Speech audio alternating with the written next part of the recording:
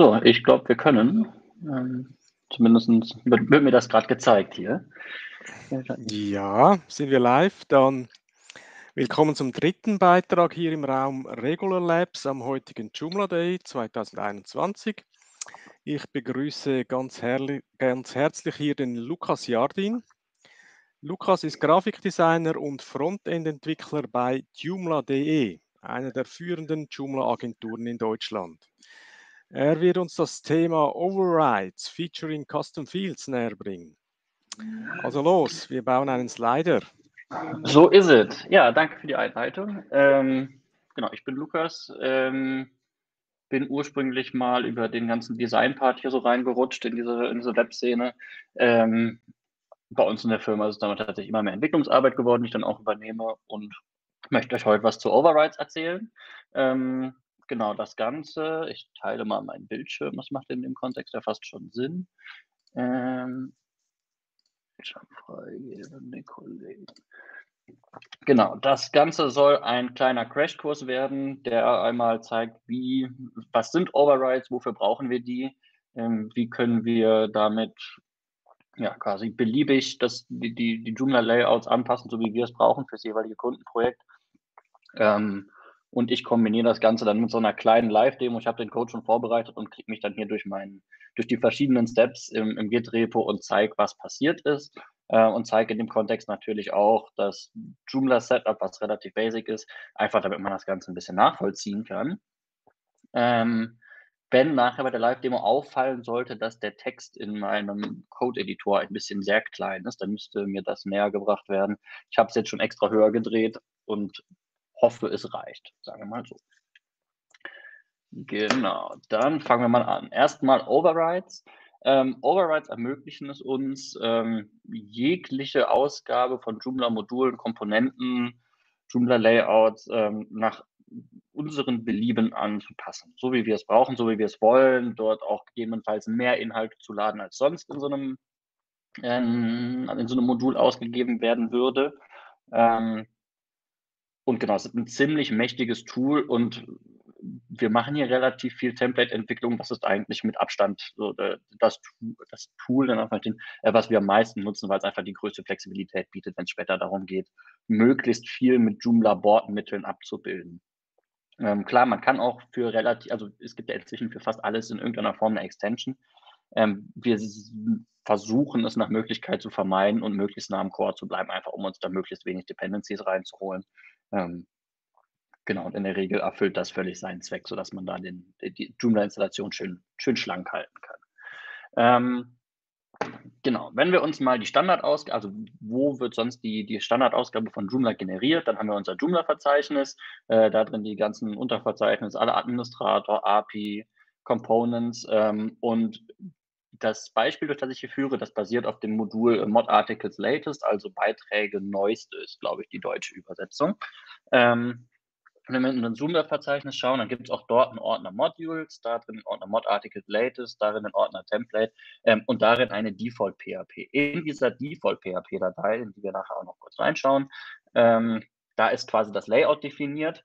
Ähm, ich kann da mal kurz äh, zwischengrätschen und sagen, dass das Standard-Layout relativ, ja, ich sag mal, ist minimalistisch gehalten. Ähm, da wird einfach nur der jeweilige Beitragstitel bzw. alle Beitragstitel in Form einer unnummerierten Liste verlinkt ausgegeben.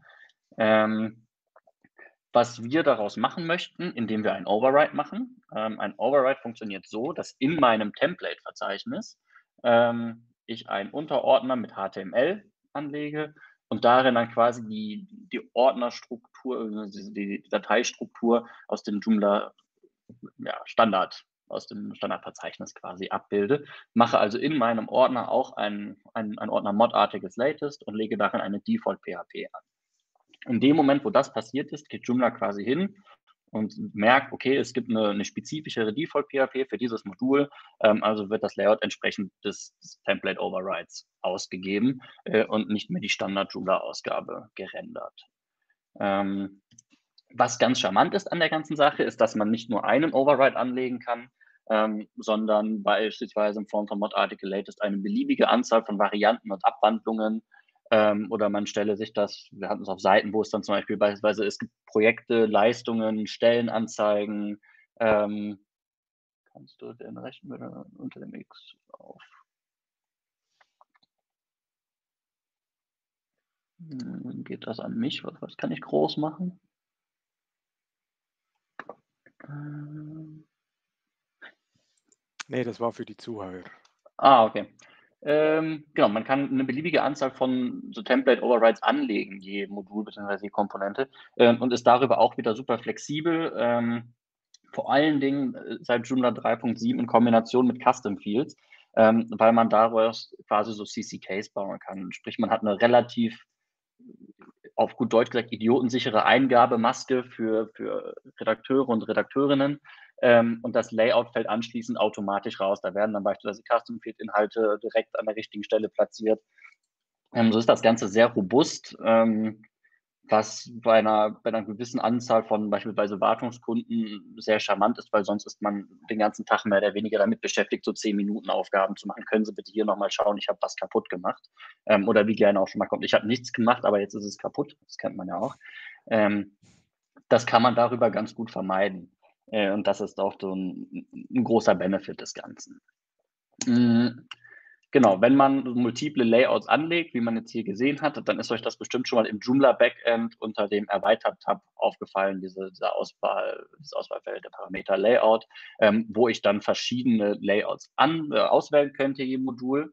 Ähm, ich zeige das gleich in meinem, in meinem Setup, ähm, dann wird es nochmal deutlicher. Ähm, das ist einfach super charmant und äh, super flexibel und fix gemacht. Ähm, was wir heute bauen wollen, ist das, was aktuell, ich muss einen richtigen Tab finden, noch so aussieht. Also hier Nadelwald, Brandung, Kaffeetasse, eine einfache Liste, ähm, soll zu einem solchen Slider werden. Ähm, mit x Anzahl an Slides, nachdem wie viele Beiträge es halt gibt. Ähm, genau, jeweils bestehend aus einem Beitragstitel, der, den wir einfach ganz normal im Joomla Backend eingeben können, ähm, dem Einleitungsbild, was wir an dieser Stelle ausgeben wollen, und zusätzlich zwei Custom Fields. Das ist einmal, man kann es wahrscheinlich nicht so richtig erkennen, unten links soll der Kundenname stehen, das ist ein Custom Field vom Type Text. Ähm, und unten rechts soll quasi das, das fiktive Veröffentlichungsdatum des jeweiligen Projektes stehen. Das Ganze soll dann natürlich schön animiert werden, irgendwie mit Mouse-Over-Effekten, also ein Kram, bauen wir alles. Ähm, was darüber hinaus auffällt, ähm, ist, dass die Farben je Slide variabel sein wollen. Ähm, auch hierfür werden wir zwei Custom Fields anlegen vom Type Color ähm, und darüber quasi die Schriftfarbe sowohl die Hintergrundfarbe von diesem Overlay definieren, ähm, sodass wir auch hier einfach mehr gestalterische Flexibilität haben. Besonders wenn man irgendwie mit großflächigen Bildern arbeitet, kann das schon mal einfach einen schöneren Effekt haben, wenn alles dann wie beispielsweise jetzt, jetzt in so einem mehr oder weniger monochromen Farbschema bleibt. Ähm, Genau, das ist der Plan für heute und das geht tatsächlich relativ schnell und unkompliziert ähm, und zeigt eigentlich ganz gut, wie einfach man den ganzen Kram erweitern kann. Ich zeige im Anschluss noch so ein paar weitere Beispiele, die wir mal äh, gebaut haben ähm, und gehe ein bisschen aus. Es gibt so einen kleinen Crashkurs CSS Transitions und CSS Animations, falls das noch für Leute interessant ist, ähm, und zeige so einen, einen, kleinen Ausschnitt aus meinem Toolkit, was ich gerne mal nutze, wenn ich irgendwie was mit CSS machen muss. Ähm, so ein paar kleine Helferlein, die mir das Leben leichter machen. Genau, der eigentliche Text-Stack nur für das Modul ist zum einen Joomla logischerweise ähm, und ähm, als Slider-Library nutze ich den Tiny Slider. Ähm, das ist ein Vanilla, also Vanilla.js basierender, äh, ja, kleine, kleine Library, die einem diese ganze Slider-Geschichte deutlich vereinfacht. Ähm, es gibt so viele Slider auf der Welt, man muss das Rad da nicht neu erfinden. Ähm, es gibt genug Leute, die da mehr Zeit investiert haben und das Vernünftige gebaut haben, wie wenn man das jetzt wie jedes Kundenprojekt quasi individuell machen würde. Das macht schlicht keinen Sinn. Genau.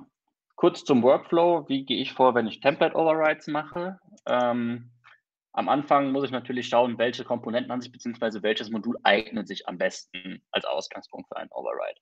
Ähm, was ich ja machen möchte mit diesem Slider, ich möchte quasi, stellen mir vor, wir sind eine fiktive Agentur ähm, und möchten da unsere letzten drei, vier, fünf, sechs, zehn Projekte, die, die uns am besten gefallen, äh, in so einer Art Showcase darstellen und das Ganze möglichst ja, plakativ und, und optisch ansprechend. Ähm, entsprechend, wenn ich davon ausgehe, dass ich zu den jeweiligen Case Studies noch ein paar Worte mehr verlieren möchte, macht es schon mal Sinn, dass ich dafür irgendwie Beiträge anlege. Ähm, und dann könnte ich jetzt irgendwie einen Override für einen ganz normalen Kategorieblock machen. Äh, ich könnte es über auch über, über ein Mod Article Latest lösen, ähm, was an der Stelle völlig ausreichend ist und weswegen ich mich dann dafür entschieden habe. Wenn ich weiß, welche Komponente bzw. welches Modul ich überschreiben möchte, ähm, geht es natürlich darum, die notwendige Dateistruktur anzulegen. Ähm, das ist der Part, den ich eben beschrieben habe. Ähm, ich könnte jetzt natürlich hingehen, ich bin jetzt mal hier in meiner, in meiner IDE ähm, und könnte mir jetzt händisch einen Ordner mit HTML in meinem, in meinem Template-Ordner anlegen. Also hier ist der Template-Ordner äh, mit meiner Index-PHP, Template Preview, Template Details, also ein Kram. Könnten wir jetzt einen Ordner HTML anlegen und hier drin dann wiederum eine Default-PHP anlegen äh, und mir so quasi manuell auf auf, auf File-Ebene den ganzen Kram anlegen. Ähm, was aber ganz charmant ist, ist, dass es dafür auch eine, eine Klick-Oberfläche in Joomla direkt gibt, die einem quasi die Arbeit so ein bisschen abnimmt. Ähm, und zwar habe ich hier, das ist mehr oder weniger eine leere Joomla 4 Installation. Ähm, ich habe schon die Beiträge und so entsprechend angelegt, führe da gleich durch. Ähm, aber erstmal zum Override. Dafür kann ich einfach auf System gehen, ähm, gehe in meine Site-Templates und sehe, dass ich hier schon ein Template angelegt habe, mein Joomla Day Dach 2021 Template. Klicke das an und kann dann hier neben dem Editor, das ist der erste Screen, wo man landen würde, ähm, gibt es einen Tab mit Overrides erstellen und sehe jetzt, welche Overrides ich alles anlegen kann. In meinem Fall würde ich jetzt auf Mod Article Latest klicken. Was passieren würde, ist, dass eine Default PHP-Datei angelegt wird ähm, und quasi die Arbeit, die ich sonst manuell machen müsste, für mich abgenommen wird. Äh, wie man sieht, man kann noch viel mehr unterschreiben. Ich kann unter Content kann ich einen einzelnen Artikel überschreiben. Ich kann den Kategorieblock überschreiben. Ähm, ich kann einen Haufen Layouts überschreiben. Da wird dann beispielsweise, wie, wie sieht das Intro-Image aus, wenn es gerendert wird? Ähm, also ein Kram ist da, verbirgt sich dahinter. Ähm, und das macht einem das Leben einfach leichter, weil man sich nicht merken muss, wie genau die verschiedenen Ordner jetzt benannt waren. Ähm, und dann am Ende wegen irgendeinem kleinen Typofehler sich die ganze Zeit fragt, warum einem das, äh, der Override nicht angezeigt wird oder warum sich nichts tut. Ähm, ist mir oft genug passiert, deswegen gehe ich inzwischen einfach diesen Weg und seitdem ist mein Leben ein bisschen schöner geworden. Ähm, ich lege den jetzt mal nicht an, weil ich führe gleich einfach über mein, mein, mein kleines Git hier durch. Ähm, Erkläre dann aber nochmal alles. Ähm, genau. Wenn ich das gemacht habe, gehe ich immer erstmal hin und lege mir quasi mal, also überlege mir, wie sieht mein gewünschtes HTML-Markup aus, was ich später am Ende gerne hätte und schaue mir erstmal gar nicht die bestehende Struktur an, weil ich weiß eh, die Daten, die ich mir später da, da reinladen möchte in mein Layout, an die werde ich schon drankommen. Ähm, erstmal Fokus aufs Markup und nutze dann gerne Platzhaltertexte. Also an der Stelle, wo beispielsweise beim Slider unten links Kundenname hinsteht, da würde ich mir nicht direkt irgendwie Realinhalt aus Joomla ausgeben, sondern wird erstmal ganz plump Kundenname da reinschreiben. Ähm, nur um zu, für mich zu überprüfen, macht mein Markup so Sinn? Ähm, genau erst im nächsten Schritt würde ich dann hingehen und schauen, okay, wie komme ich jetzt an die konkreten Inhalte, beispielsweise den Beitragstitel oder Custom Field Contents, ähm, und tausche die Platzhalter, die ich mir vorher angelegt habe, jetzt gegen quasi den, den Code, den ich eigentlich brauche, aus ähm, und kann so nach und nach mein, den, den, den Override entsprechend weiter anpassen. Ähm, und dann im letzten Schritt ähm, gehe ich hin und mache das Ganze mit Hilfe von, von CSS bzw. JavaScript ein bisschen schöner und interaktiver. Ähm, wenn das Markup einmal steht, ist es ab hier ja an, an vielen Stellen so ein bisschen malen nach Zahlen. Ähm, genau, auch da führe ich jetzt in der, in der kurzen Demo kurz durch, ähm, wie ich da was gemacht habe, wie ich was gelöst habe. Wenn es konkrete Fragen zu irgendwelchen CSS-Umsetzungen gibt, ähm, gerne auf die Bühne stürmen und äh, fragen. Ähm, Genau. Deswegen auf geht's. Also, ich führe erstmal gerade durch mein Joomla. Genau, hier. Ähm, was ich bisher gemacht habe, ist, ich habe mir zwei Kategorien angelegt. Einmal Leistung und einmal Projekte. Ähm, das Leistung, die Leistungskategorie nutze ich für noch so einen zweiten Override, falls wir noch Zeit haben. Dann kann ich euch den noch zeigen, wie man auch Custom Fields nochmal anders nutzen könnte. Ähm, in meiner Kategorie Projekte habe ich die drei Beiträge mit Nadelwald, Brandung und Kaffeetasse angelegt, die ich später dann auch, ich kann noch ein bisschen zoomen, denke ich, ähm, in meinem Slider ausgeben möchte. Was darüber hinaus passiert ist, wenn ich in meine Felder schaue. Ich habe ja schon Felder angelegt und filter die mir mal gerade nach Projekte.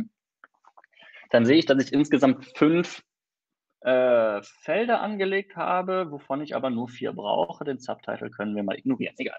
Ähm, genau, ich habe zum einen ein Feld vom Typ Color angelegt für die Hintergrundfarbe. Ich habe ein Feld von Typ Text für die Kunden angelegt ähm, ein Feld vom Typ Kalender für das, für das Datum des Projektabschlusses und noch ein Text mit der, vom Typ Color für die Schriftfarbe. Bin dann natürlich, habe in meinen Beiträgen, habe mir jetzt angelegt ähm, und habe in den Projektinformationen entsprechend Daten für diese Felder hinterlegt, ähm, weil ich die ja später für, für, für den Override brauche und den an der Stelle entsprechend gerne ausgeben möchte. Genau, und den Part machen wir jetzt. Ähm, wie wir sehen, wenn wir nichts gemacht haben, also wenn, wenn wir das normale Joomla-Layout, das gibt an der Stelle erstmal so nichts aus. Ähm, das ist relativ straightforward. Ähm, und was ich jetzt im ersten Schritt ähm, machen würde, ist, ich muss das hier kurz machen. Changes. Ich würde jetzt hingehen und hätte mir über den Workflow von eben, sprich über die Site-Templates, mein Template, die äh, Overrides erstellen, auf Mod Article Latest klicken und mir so eine Default PHP in meinen Template-Ordner anlegen. Wenn ich das gemacht habe, dann hätte hier am Anfang noch Default PHP gestanden, wo jetzt Slider PHP steht. Ich weiß nicht, ob man das lesen kann.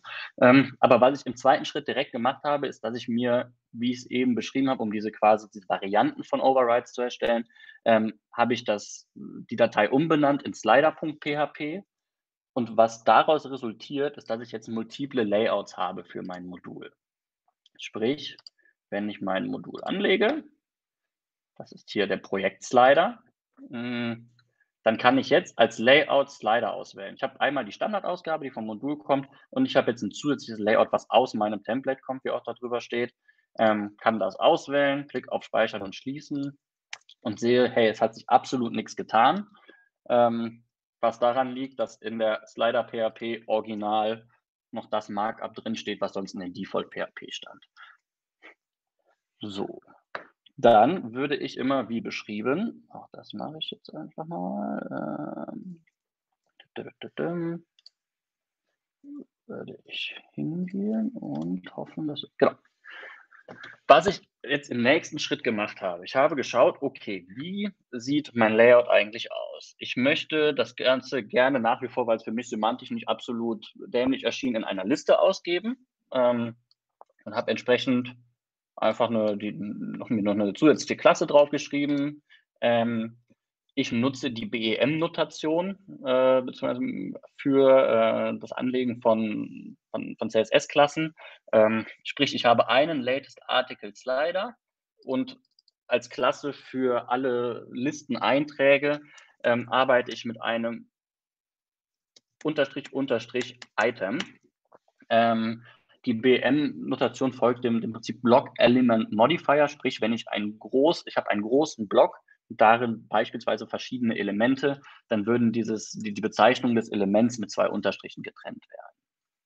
Ähm, was man jetzt schon sieht, was ich gemacht habe, ist das, was ich eben beschrieben habe. Ich habe erstmal plump einfach quasi mir Textplatzhalter installiert, um mein Markup zu überprüfen. Innerhalb meines Listeneintrags habe ich mir zum einen eine, einen Link aufgemacht, ähm, in dem sowohl der Titel drin ausgegeben wird, den habe ich jetzt so belassen, weil den hatte ich schon im Layout, dann, dann brauche ich nicht nochmal rauslöschen, um später wieder reinzuladen. Ähm, ich möchte mir mein Bild ausgeben. Hier steht aktuell noch Farb zum Intro-Bild, weil ich habe, wie gesagt, nur Platzhalter verwendet. Ähm, und dann gibt es diesen unteren Part mit Item Lower, wo der Kundenname und das Projektabschlussdatum drin. Wenn wir das mal vergleichen mit dem, wie es aussehen soll, dann sehen wir, dass wir der Sache damit eigentlich ziemlich nahe kommen. Wir haben Titel und Bild im oberen Bereich ähm, und wir haben Kundenname und ähm, Veröffentlichungsdatum in, im unteren Bereich. Gut. Ich hoffe, dass bis hierhin soweit alles klar ist, ähm, weil ab jetzt kommt eigentlich der spannende Part, wie man jetzt quasi, wie kommen wir jetzt dahin, dass wir unsere, die, die Inhalte da reingeladen bekommen. Ähm, was sehr, was, was, was hier so ein bisschen der, der Schlüssel zum, zum Glück ist oder eine, ein Textbefehl, den man sehr häufig eingeben wird, ist, ich möchte jetzt alles wissen. Ich sage PHP for each list as item, also für jedes Item in meiner Liste, rendere mir bitte das folgende Markup ähm, und kann dann hier und beispielsweise Item Link ist der Link zum Beitrag, Item Title ist der Beitragstitel, kann also quasi auf verschiedene beitragsspezifische Informationen per PHP zugreifen. Jetzt möchte ich aber natürlich wissen, welche Inhalte es, es so alles in meinem Beitragsobjekt überhaupt gibt. Ähm, und hier ist der, der, der Schlüssel zum Glück, ist äh, der wunderbare Befehl php war dump und dann Dollar Item. Ich tippe das jetzt mal ein und speichere. Und wenn wir dann schauen, dann sehen wir, dass wir hier jetzt relativ unsortiert einmal aufgelistet bekommen, was ist, was, also auf was kann ich alles zugreifen, was ist alles Teil meines äh, Beitragsobjekts. Wenn das Ganze ein bisschen schöner aussehen soll, dann kann man da jeweils ein Prefont hinterschreiben, dass das Ganze als Code formatiert wird. Und dann sieht es schon nicht mehr ganz so katastrophal aus. Ähm, und jetzt kann ich quasi schauen, okay, ich brauche mein Intro-Text, äh, mein Intro-Image, das wird wahrscheinlich irgendwas mit Intro heißen. Ähm, dann würde mir der Intro-Text hervorgehoben werden. Ich kann hier mal was reinzoomen, merke schon, das sieht jetzt nicht unbedingt nach einem Pfad zu einem Bild aus. Ähm, und sehe dann hier, aha, es gibt Images und darin gibt es beispielsweise Image Intro, wo der Pfad zum Link angezeigt wird. Ähm, genau, deswegen war Dump und dann entsprechend die, die jeweilige, das jeweilige Objekt, was ich haben möchte, so auszugeben. Ähm, so bastel ich mir mehr oder weniger alle meine Overrides zusammen, weil ich auch nicht immer aus dem Kopf weiß, was war denn jetzt nochmal äh, die Variable für, keine Ahnung, die, die, die, den Kategorienamen, zu dem der, der Beitrag gehört. Ähm, genau, Deswegen, was ich jetzt machen würde, ich würde hingehen und mir nach und nach alle meine ähm, meine Variablen aus, äh, hier austauschen. Was aber auffällt ist, ähm, Kundenname und Projektabschlussdatum, haben wir ja gesagt, werden über Custom Fields gepflegt. Ähm, wenn wir mal hier in die Liste reinschauen, dann, ich gebe jetzt einfach mal Fields ein, dann sehen wir nur, es gibt Custom Fields Enable, beziehungsweise ich kann mal einfach Kundenname eintippen. Ähm, und sehe, dass ich nicht direkt auf die Fields zugreifen kann. Ich finde das zwar hier, aber ich könnte nicht darauf zugreifen, wenn ich das richtig sehe. Ähm, was man nämlich machen muss an der Stelle, ist, dass man sich die Fields quasi reinlädt in den Override, dass man auf sie zugreifen kann. Ähm, das ist der Schritt, den ich im nächsten, äh, ja, jetzt im nächsten Schritt tun würde. Der nächste Schritt im nächsten Schritt. Ähm, Stash Changes und Genau, wie das funktioniert, zeige ich euch. Ähm, was ich dafür mache, ist, dass ich ähm, mir mit Fields Helper, Get Fields, Com Content Article, Item True, das ist halt ein, ein, Code, den muss man dann einmal kennen, ähm, kann ich mir die Inhalte der, ähm, der Custom Fields des jeweiligen Beitrags in den Override reinladen. Ähm, wenn ich mir das Ganze, ich gebe es hier drunter, gebe ich mir die Inhalte direkt mal aus und sehe, dass ich ein relativ langes Array mit allen, Object, ähm, mit allen Field-Inhalten bekomme, sprich Value, Raw Value, da kommen wir später noch drauf zu sprechen, ähm, jeglichen Parametern, wer hat es wann wie angelegt. Darauf könnte ich jetzt zugreifen, das ist schon mal super, weil ich mir jetzt auch hier raus, rausziehen könnte, was brauche ich eigentlich. Ähm, den ganzen Code, den ich hier in, in meinem Repo habe, den veröffentliche ich später auf GitHub und dann äh, könnt ihr darauf zugreifen und euch die Codeschnitzel entsprechend rausziehen, wenn ihr das möchtet. Genau. Ähm, ich mache mal weiter im Programm. Was wäre jetzt der nächste Schritt? Ähm, weil ich nur über den Befehl zwar schon auf meine Custom Fields Inhalte zugreifen könnte, aber das Ganze irgendwie, wie wir gerade gesehen haben, mit diesem ellenlangen Objekt da nicht so richtig charmant ist, ähm, haben wir uns irgendwann mal einen kleinen Workaround gebaut, und haben gesagt, über eine For-Each-Schleife, ähm, dass wir jedes unserer Custom Fields quasi ansprechen, ansprechen können möchten über PHP, Echo, Dollar Item, JC Fields, ähm, upsala, eckige Klammer und dann einfach den Feldnamen. Ähm, das macht das Ganze wesentlich charmanter und auch wesentlich robuster, weil man da sonst gerne mal schon mal mit, mit, mit so Magic Numbers um sich werfen muss. Ähm, und das macht irgendwie semi-glücklich. So ist alles wesentlich ja, lesbarer ähm, und nachvollziehbarer und bequemer. Vor allem, wenn man mal irgendwie einen Override hat, wo mehr als zwei Custom Fields geladen werden müssen.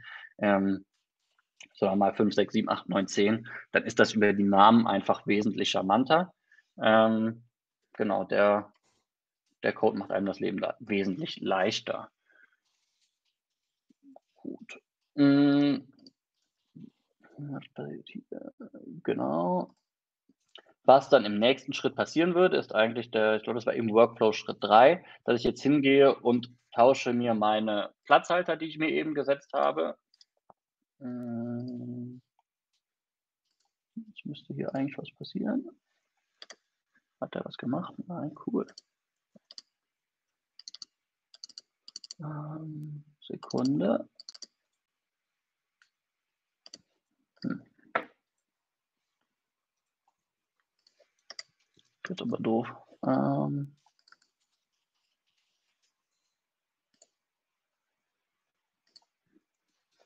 entschuldigt, entschuldigt, entschuldigt. So, dann muss ich einen Schritt weitergehen. Ähm, was ich jetzt gemacht habe im nächsten Schritt ist, ähm, ich habe die Platzhalter, also eben stand ja noch Link zum Intro-Image, ähm, habe ich einfach ausgetauscht gegen die, die Objektvariablen, ähm, die ich mir über die Bar-Dump-Geschichte einfach auslesen kann. Ähm, das ist am Ende so ein bisschen Suche nach der Nadel im Heuhaufen, aber in der Regel wird man schon irgendwann findig, äh, findig besonders wenn man diese Pre-Text davor und dahinter schreibt, weil es einfach wesentlich übersichtlicher formatiert ist. Ähm, ich habe, wie eben beschrieben, kann ich jetzt jedes meiner Custom Fields über den Namen des Custom Fields direkt ansprechen und gebe mir einfach den Value aus für den Kunden ähm, und gebe mir ebenso für, die, für das Custom Field Projekt Abschluss den, den Value raus. Was ich aber zusätzlich noch gemacht habe, ist, dass ich mit äh, PHP Factory, JFactory Get Date ähm, das Format wie gewünscht auf nur Monat und Jahr angepasst habe in meinem Custom Field selber, also wenn ich in einem Beitrag drin bin, dann pflege ich das ganz normal über so einen Date Picker. Also ich würde hier 21.09.2021 eingeben und es würde nur 09.2021 ausgegeben werden. Das ist das, was dieser JFactory Get Date Part macht. Ähm, wenn ich jetzt mein Override mal anschaue, und ich würde, dann sehe ich schon, dass ich so ziemlich alles rausgeworfen bekomme, was ich möchte. Ich kriege zum einen den, den Titel ausgegeben, ähm, ich kriege das Bild ausgegeben, ich kriege meinen Kundennamen ausgegeben und ich kriege außerdem auch dann das Projektabschlussdatum ausgegeben. Soweit so cool. Was jetzt eigentlich folgt, ist Punkt 5, hübsch machen. Ähm, beziehungsweise was ich dazwischen noch gemacht habe aus Performancegründen, weil das sind ja relativ große Bilder, die ich hier lade, äh, und ich möchte nicht gegebenenfalls alle direkt laden, habe ich noch ein kleines Lazy Loading implementiert ähm, und switch dafür auch mal gerade hier rein. Ähm, und zwar habe ich das hier gemacht. Ähm, Lazy Loading, natives Lazy Loading funktioniert so, dass man das Loading-Attribut zu einem Bild oder einem Picture Tag hinzufügen kann. Ähm, sagt Loading Lazy. In dem Moment wird das Bild quasi erst dann geladen, wenn es im Viewport ersichtlich ist.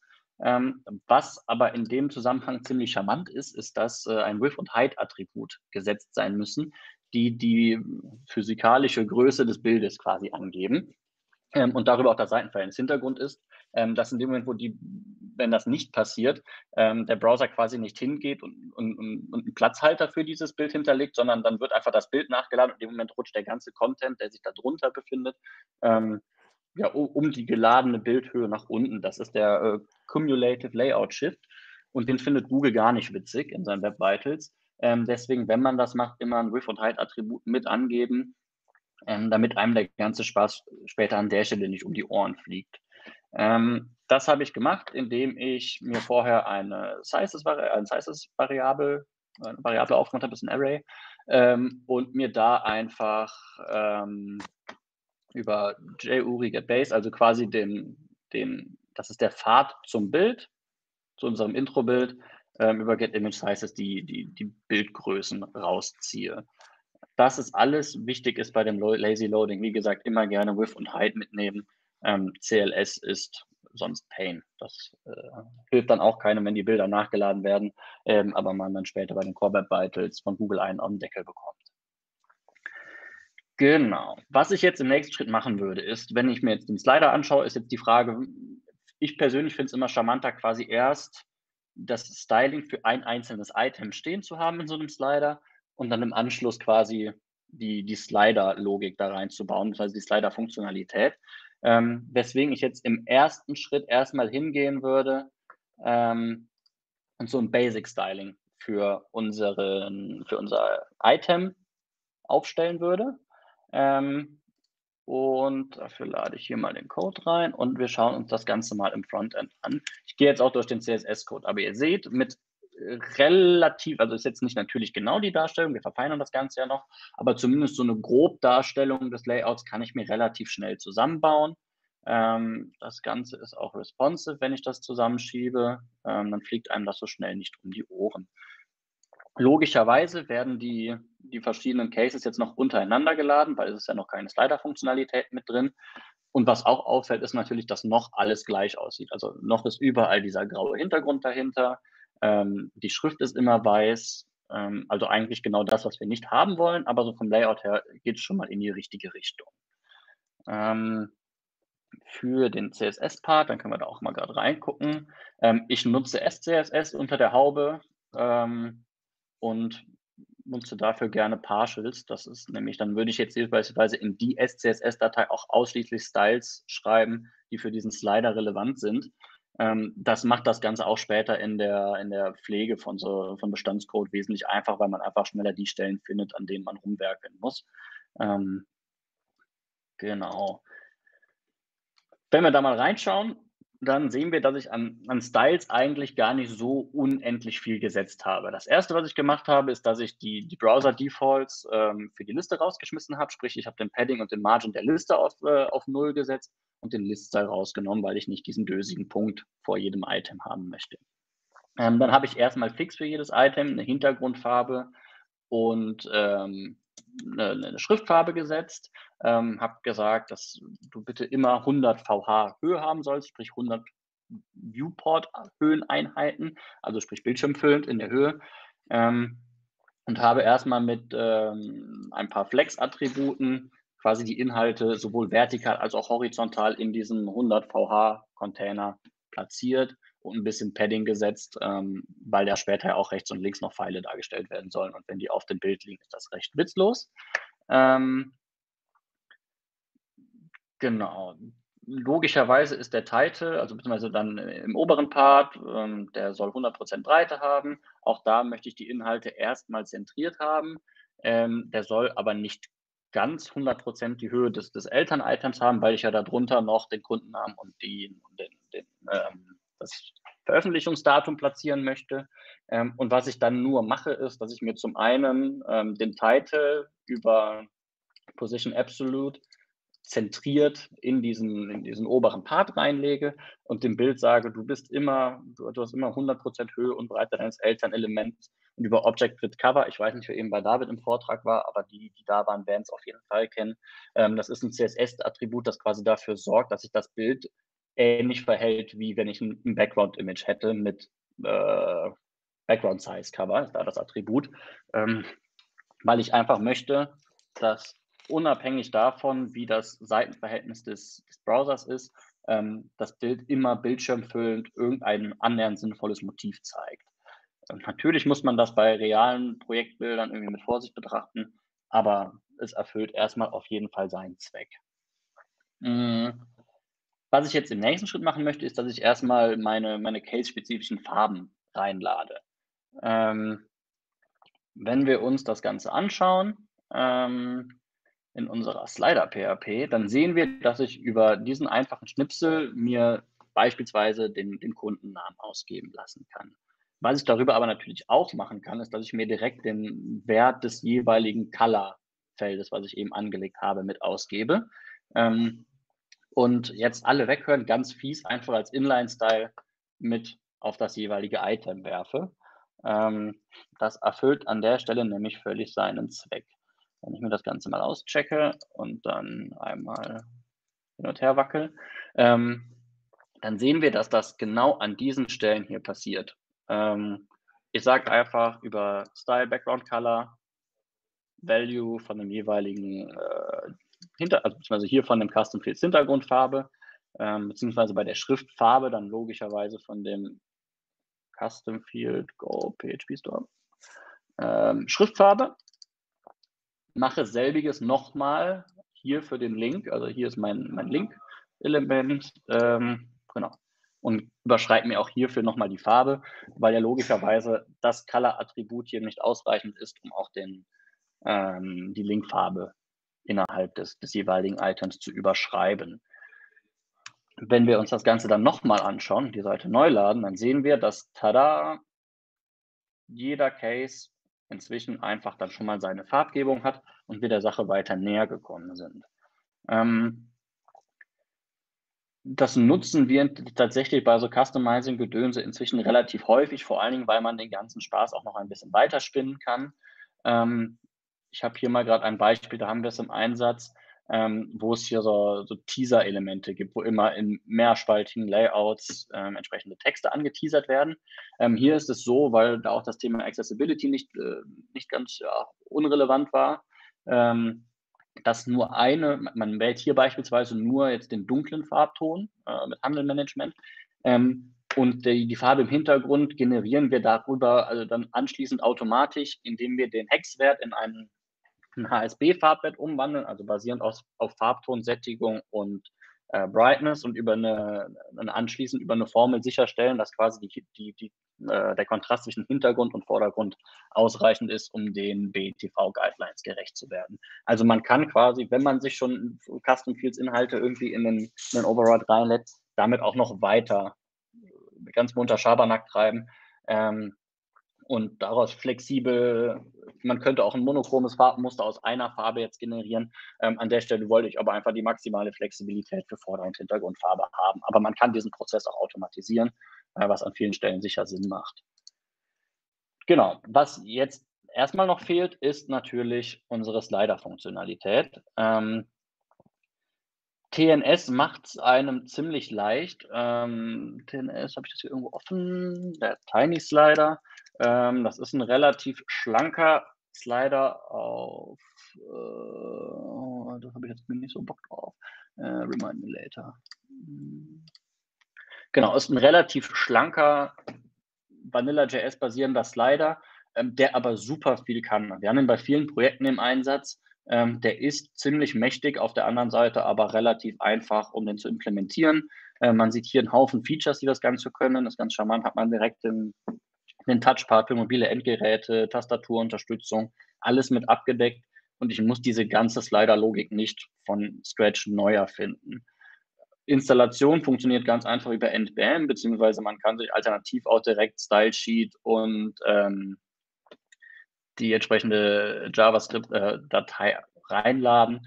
Ähm, ich habe es jetzt auf der Einfachheit halber einfach bei mir im, im, im Repo hier ähm, über, über ähm, NPM reingeladen ähm, und habe dann mal hier, man sieht es ganz leicht, zum einen ziehe ich mir Styles, die importiere ich mir einfach aus der mitgelieferten CSS-Datei.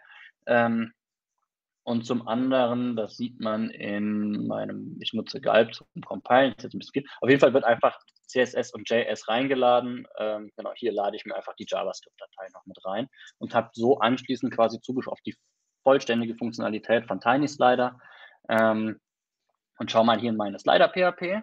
Ähm, in Tiny Slider funktioniert es so, dass man quasi über Document at Event Listener ähm, Down Content loaded und dann anschließend TNS aufruft ähm, und dann über den Container einen spezifischen Container definieren kann, ähm, der als Slider behandelt werden soll. Das Einzige, was für diesen Slide, für diesen Slide-Container wichtig ist, ähm, ist, dass da quasi ein, multiple Kind-Elemente drin stecken. Ähm, und kann dann hier einiges an, an Parametern bestimmen, wie viele Items sollen auf einmal gezeigt werden, ähm, um wie viele soll geslidet werden und so weiter und so fort. Der Rest passiert quasi wie von Geisterhand. Was ich darüber hinaus gemacht habe, ähm, ist, dass ich eine zusätzliche Random-ID vergeben habe ähm, und mir die vorher generiere, ähm, weil es mir sonst passieren kann, dass wenn ich mehrere Slider auf einer Seite hätte, ich quasi bei dem einen auf Weiterklick und bei allen drei auf der Seite würde es weitergehen, ähm, weil sonst über, nur über einen Klassennamen wäre ja kein spezifischer Container definiert. So habe ich einen ganz spezifischen Container hier Slider. Wenn wir uns das Ganze dann mal anschauen, neu laden, hm, müsste eigentlich was passieren, kann aber auch sein, dass ich was verplant habe. Ähm,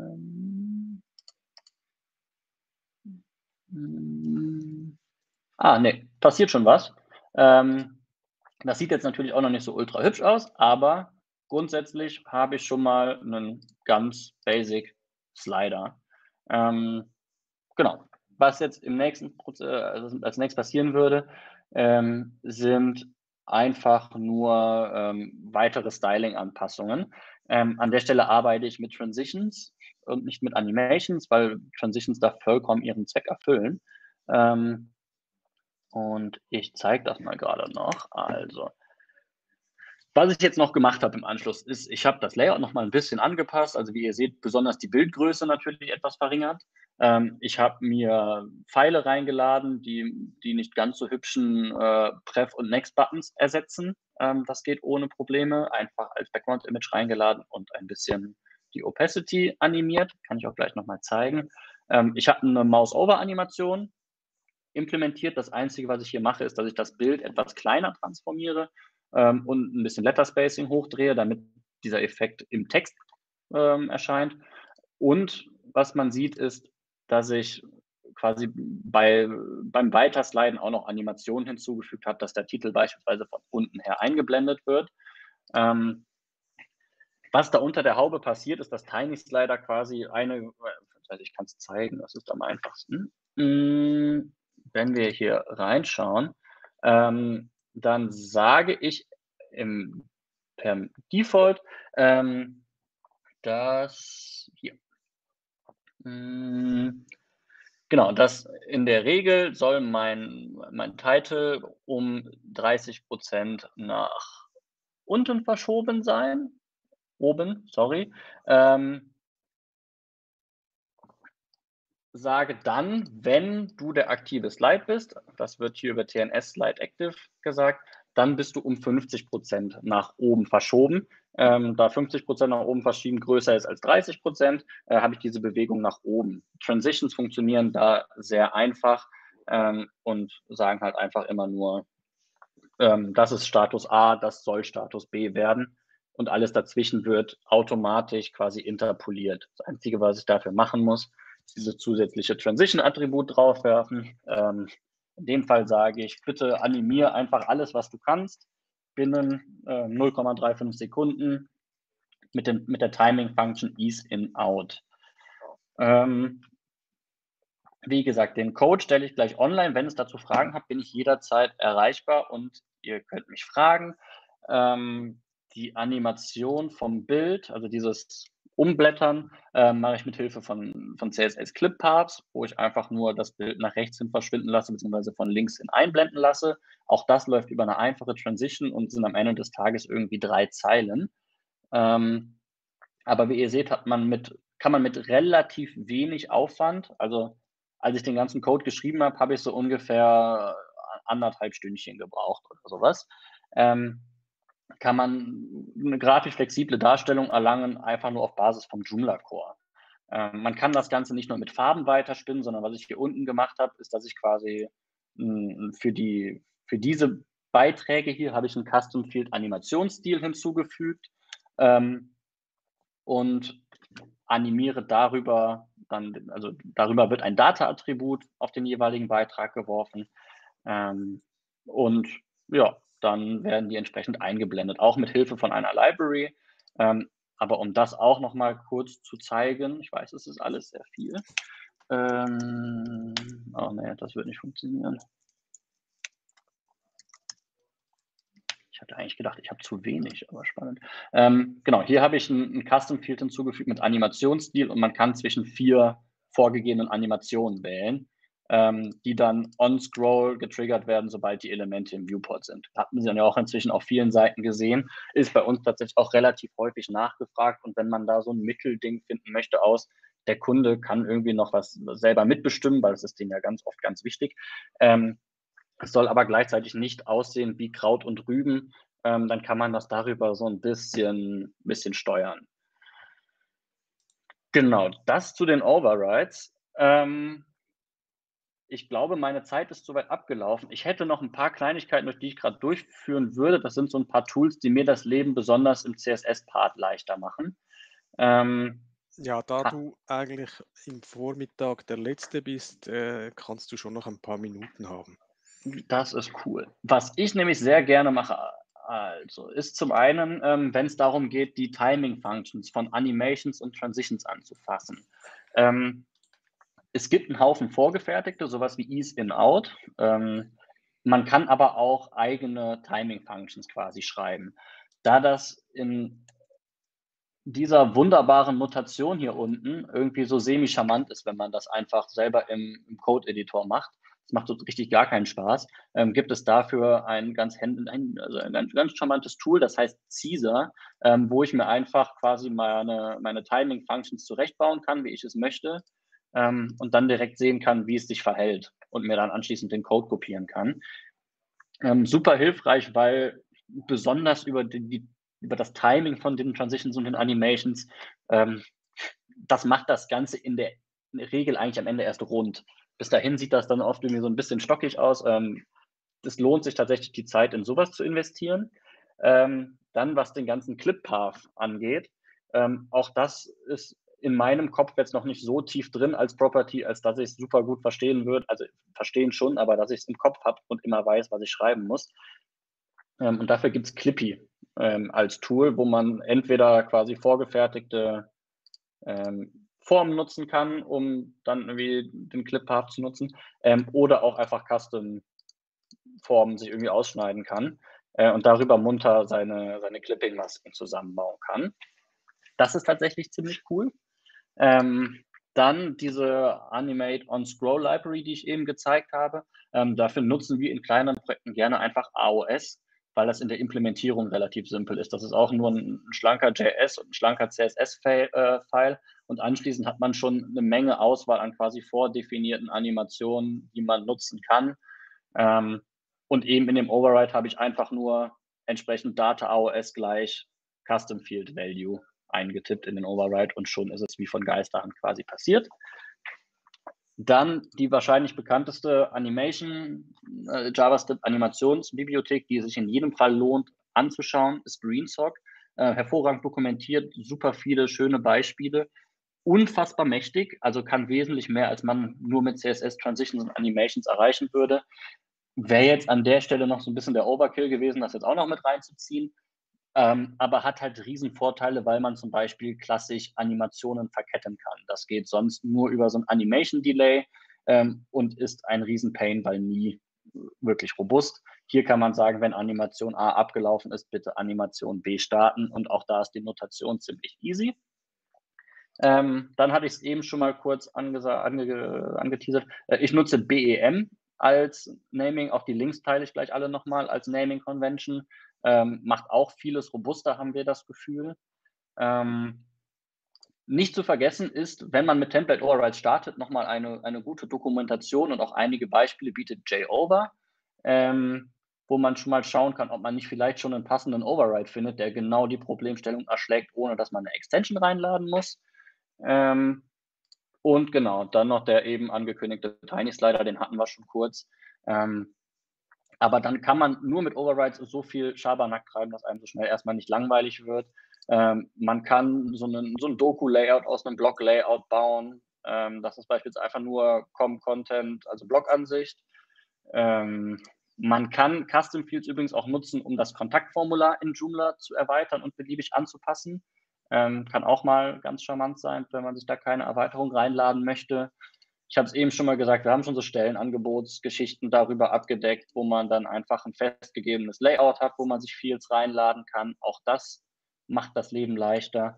Ähm, oder beispielsweise bei uns auf der Seite, wir haben ja hier so einen leichten Parallax-Effekt. Ähm, auch das ist über Custom Fields gelöst und wo einfach ein Parameter übergeben wird. Genau, ich weiß, das war super viel, ähm, aber ich habe es nicht kürzer hinbekommen und hoffe, dass man zumindest etwas mitnehmen kann und bedanke mich erstmal für eure Zeit. Ja, vielen Dank, Lukas. Äh, sehr interessant. Ich bin überzeugt, auch das Publikum fand das faszinierend. Ähm, zeig mal eure Hände. Und ich hoffe eigentlich bloß, dass nicht so viele Kunden das gesehen haben.